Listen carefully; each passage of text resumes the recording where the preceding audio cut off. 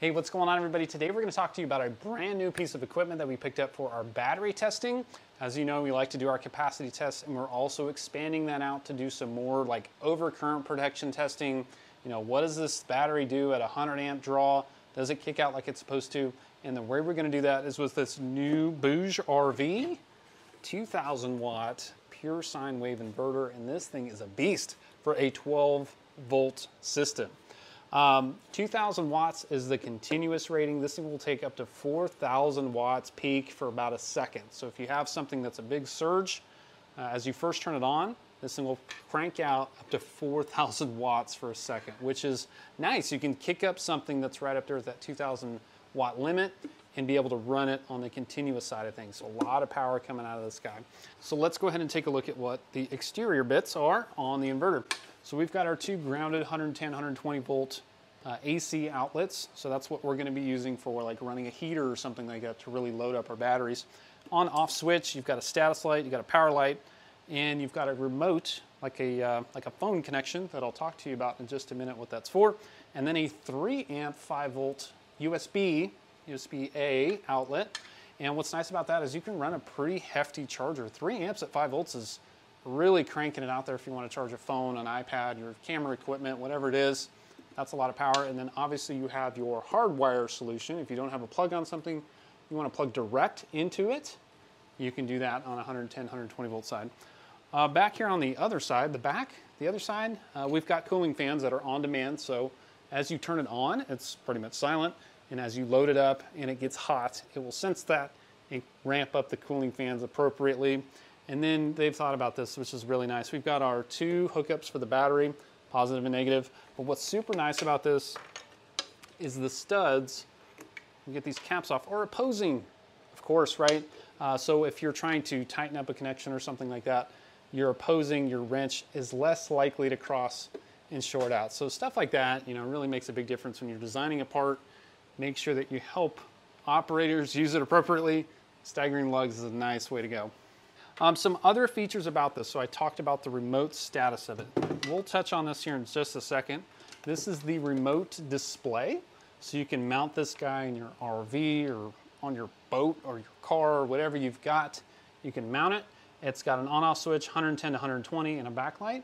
And it gives you all the information that's going on with it. Um, let me talk you through what it shows you. So once we boot it up, I'm just gonna read this to you. It'll tell you your input voltage, your output frequency, 50 or 60 hertz, output voltage, battery power, output power in watts, working status, and then it gives you some, some inputs on what kind of fault might be going on if you, if you overload it or something like that. So you'll get over temperature protection, over discharge, over voltage, overload, inverter temp, inverter switch, AC voltage switch, and backlighting. So you get a ton of information without even having to do anything, without having to pull out your phone, without having to guess.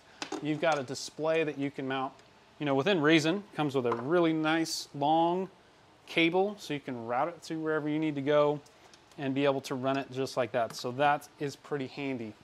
Um, it's also even better, speaking of handy, it's Bluetooth connected. Um, so once you get it set up, your Android, your iPhone, they've got a QR code right there in the manual, takes you to the App Store, download the app, sync it up to your inverter, and get live status of what's going on with that as well super handy there. So let's go ahead and hook it up. One thing I do want to talk about, if you're hooking up an inverter for the first time, it's got some big capacitors in it, and you'll get a pretty hefty spark on it. There's a couple ways to mitigate that. Um, the primary way I do is just find you a resistor if you've got one. This I don't even know what this is. Pick something or some sort of load that you can put through it and use that to help keep the spark down, but don't be alarmed. You haven't shorted anything out but it is going to load up those capacitors as soon as you touch it to a battery. So don't be alarmed. That's perfectly normal. So let's go ahead and hook up to the battery.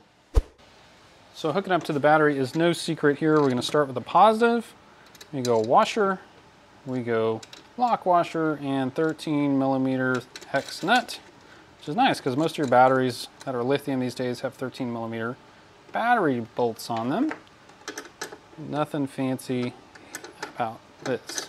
Now these battery cables that you're looking at, or these inverter cables, do come with it. So they're included, which is nice. Don't have to worry about that. And now we're gonna go ahead with our ground side, kind of backwards. We got our washer, We got our lock washer and our 13 millimeter hex. My fingers would work. There we go, snug that joker up. And once we get this hooked up, I'll show you the remote display and I will also try to trigger the overload protection. So uh, stay tuned for that. There we are, and we'll go ahead and put our cap on because why not? All right, so we are all hooked up. I've got this just kind of rigged up here hanging onto the battery. And let's go ahead and turn it on. You're seeing my screen here as well. So I just kicked it on. And now I'm gonna plug in the connection to the display. There we are. And so you can see on, we are, I'm gonna overlay my phone here. You can see we are online with our inverter. We're at 13.4 volts. That agrees with the screen, 119 volts, frequency at 60, 60 hertz. 87 degrees. Yes, it's hot here in Texas, even in the middle of September. And it gives you some other detail there. It gives you the running time of the day, maximum power output, which is cool to see, maximum voltage and minimum voltage of the battery. And it kind of gives you some battery uh, over discharge times. So um, other here in real time, you see the voltage, the current, and the frequency as well. You can also remotely turn it on and off via your phone. So all right, so the next step that we're gonna do is take a look at these two heaters over here. We've got 1500 watts here, and this one pulls about 1800 watts. So what we're gonna do is turn on the big dog and see what that pulls current-wise, and then uh, we're gonna ramp in with this little gizmo here, the 1500 watt, and try to overclock this thing.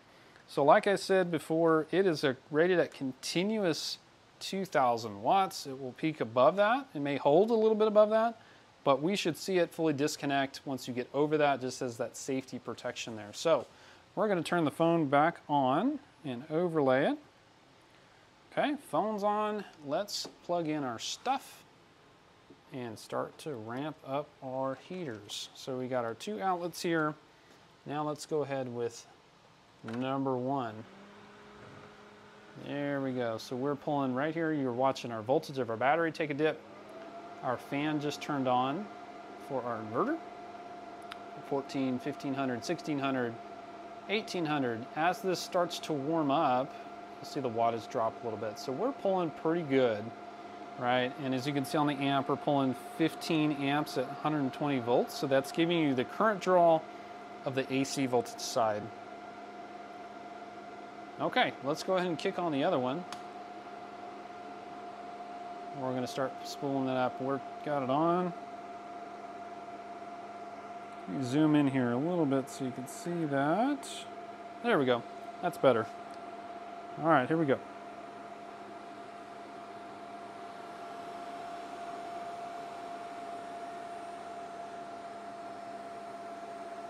There's the 2000. Let's just go ahead and send it. There it goes. Okay, so what happened there? It kicked itself out. It said too much, too much pulling. We got everything back up and running again, so the over discharge protection worked perfectly. You know, we were pulling well over 2,000 watts, and it dropped out just like it was supposed to. Very nice. Okay, that's gonna go ahead and wrap up our BougeRV 2000 watt inverter introduction. You will see this thing being used for all of our future batteries working on that overcurrent discharge on our batteries. You know, this thing's 2000 watts continuous. Typically our 100 amp hour batteries are 1280 watts. Um, so we're gonna be able to overclock those things and check out the overcurrent protection on them. I'll put some links in the descriptions. Thanks for checking out our video today.